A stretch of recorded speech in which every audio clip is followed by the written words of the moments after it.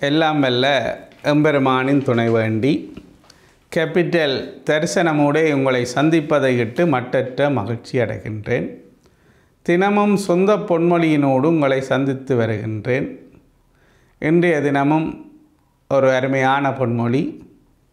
உண்மை உறைந்தாலும் உணர்வு வெல்லும் உண்மை உறைந்தாலும். உண்மை சில சந்தர்ப்பங்களிலே உறைந்து போனாலும். சில சந்தர்ப்பங்களிலே உண்மை ஊமியாகிவிடும். அப்படியாக அந்த உண்மை உறைந்து போனாலும் கூட அந்த உண்மை என்றோ ஒரு நாள் வெளிப்படும். வெளிப்படுகின்ற போது அந்த உண்மை பேசியவருடைய அந்த உண்மையான அந்த லட்சியம் வெளியில் வரும். அப்போது இந்த உண்மை என்பது உறைகின்ற தன்மையையும் கொண்டது. அதனால் இன்றைக்கெல்லாம் பார்த்துருப்பீர்கள் பொய் சொல்கிறவர்களுடைய கைதான் ஓங்கி இருக்கிறது உண்மை பேசுகிறவனுக்கு நல்ல காலம் இல்லை யாரும் உண்மை பேசினான் உண்டால் வாழ முடியாதவனாக இருப்பான். என்ன போல்? கிணறு சிரிக்கிற மாதிரி இருக்கு. உண்மை அதுதான். எனக்கு அம்மன் தந்த பேச்சென்றபடியால் நான் முந்தி அந்த காலத்தில் ஊம பிள்ளையாக இருந்த நான். அதனால் அம்மன் அம்மன்ற வரத்தால் தான் நான் பேச்சு வரம் பெற்றேன். அப்போ அதனால் நான் பொய் பேசுவதில்லை. அப்போது உண்மையை பேசுகின்ற போது சில பேருக்கு கோபம் வரும். அப்போது அவருக்காக நான் பொய் பேசல. அவர் எந்த பெரிய அதிகாரியாக இருந்தாலும் அவர் பிளவிட்டால் பிழை என்று தான் சொல்லு என்றா பொய் சொல்லி அவருக்கு ஆக, நாங்கள் இறங்கி போய் பொய்யை கூறி அந்த பாவத்தை சேர்க்க முடியாது. அப்போ உண்மையை பேசுகின்ற ஒரு நிலை எனக்கு சிறிய வயசில் இருந்தே இருக்கிறது. அது என்ன வாழ விடாமல் தடுக்குது. அதான் பிரச்சனை. அப்போ பொய் ஆனால் ஒரு காலத்திலே உண்மைதான் வெல்லும். ஒரு காலத்திலே என்று நான் செத்தா பிரபோதரியில் இல்லை அதுக்கு பிறகு சிலர் என்னை விளங்கி கொள்ளக்கூடியதாயும் இருக்கும் ஏனென்றால் அவர்களுக்கு ஏற்ற போல பொய் கதைக்க தெரியாது. ஆனால் இப்போ அப்படி இல்லை தானே. ஒரு மனுஷன் மேடையில்னா அவனை பற்றி சும்மா பொய்யா வச்சு அங்கே ஒரு ஆளுக்கு ஒரு பெரிய பாராட்டு விழா நடக்கு. இவரல்லவா மனிதன். அடப்பா.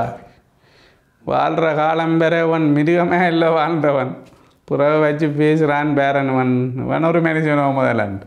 பொய் பேசுகிறான்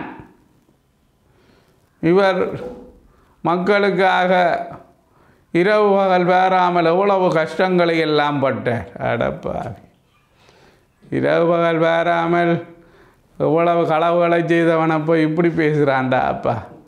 இவன் நல்லா இருப்பனோண்டு நான் மனசுக்கு நினைக்கிறேன். அப்போ காசு இருந்தால் காணும்.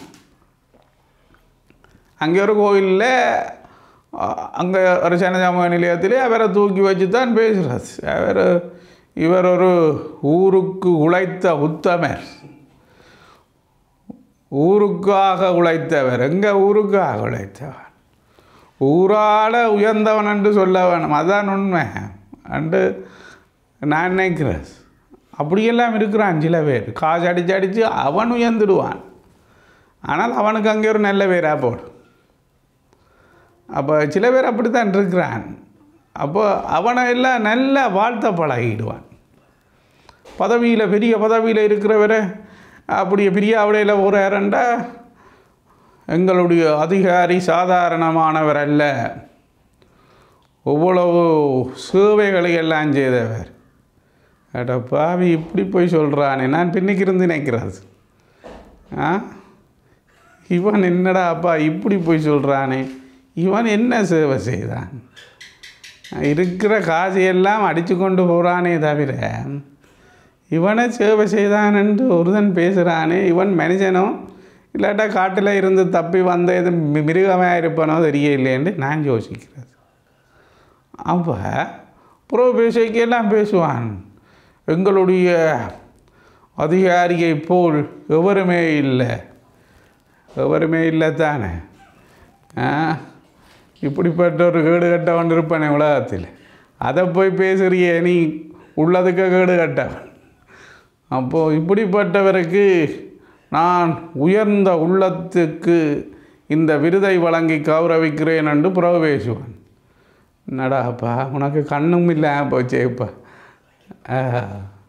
அப்பா பாருங்க அவன் கொஞ்சம் காசுக்காரனண்டா பதவியில் உயர்ந்தவனண்டா இவன் வாயில் வந்ததையெல்லாம் பேசுகிறான் அங்கே ஒரு இதில் போய் பேசின மாதிரி பிரியாவிடையில் இவனுக்கு தெரியாது யாருக்கு பிரியா யாரோ வைத்தியராம் பிரியாவிடையன்ட்டு போய் வச்சு வெளுத்தறிஞ்சு விட்டான். இவர் சாதாரணமான வைத்தியர் இல்லை.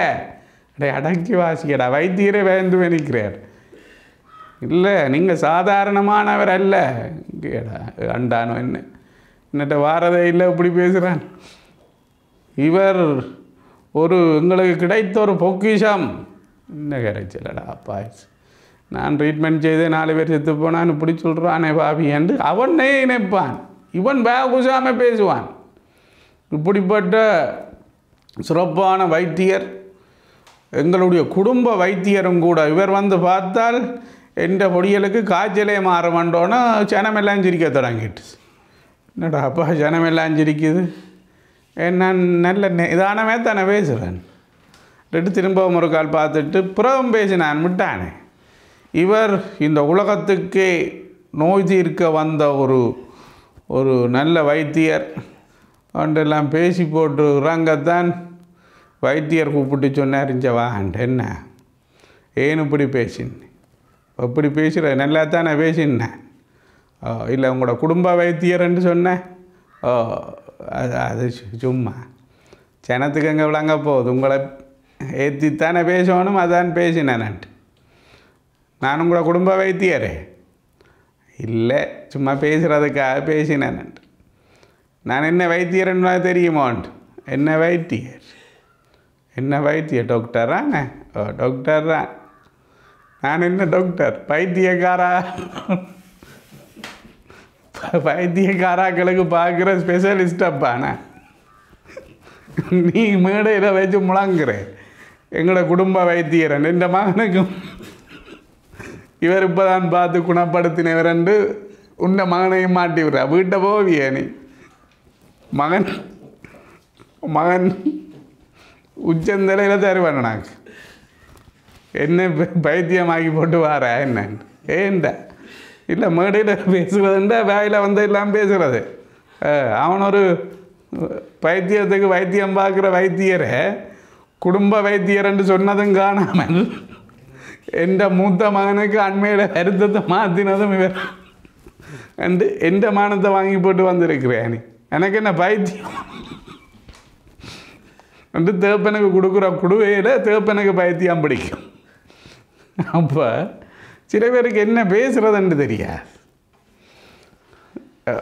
ஒரு தினம் சும்மா சொல்கிறதாண்டா வாயில் வந்து எல்லாம் சொல்லுவான்.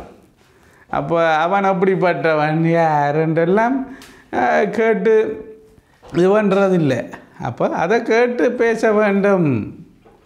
அப்போ வாயில் வந்தபடி எல்லாம் பேசக்கூடாது. அப்போ எங்களுடைய வாயிலிருந்து வருகின்ற ஒவ்வொரு வார்த்தை பிரயோகங்களும் அடுத்தவனுடைய வளர்ச்சிக்கு ஏதுவாக இருக்க வேண்டுமே தவிர அடுத்தவனை நாங்கள் மகிழ்விக்க வேண்டும் என்பதற்காகவோ நாங்கள் உண்மையை பேசாமல் விடுவது குற்றம். பொய் பேசுவதை தவிருங்கள். இன்றைக்கு பொய் பேசுகின்றவர்கள் கூடிவிட்டார்கள். பொய் பேசுகின்றவர்கள் தங்களுடைய பொய் பேசுகின்ற நிலையிலிருந்து மாற வேண்டும் என்று கூறி நாளைய தினமும் உங்களை சந்திப்பேன் என்று கூறி நிறைவு பெறுகின்ற நன்றி வணக்கம்.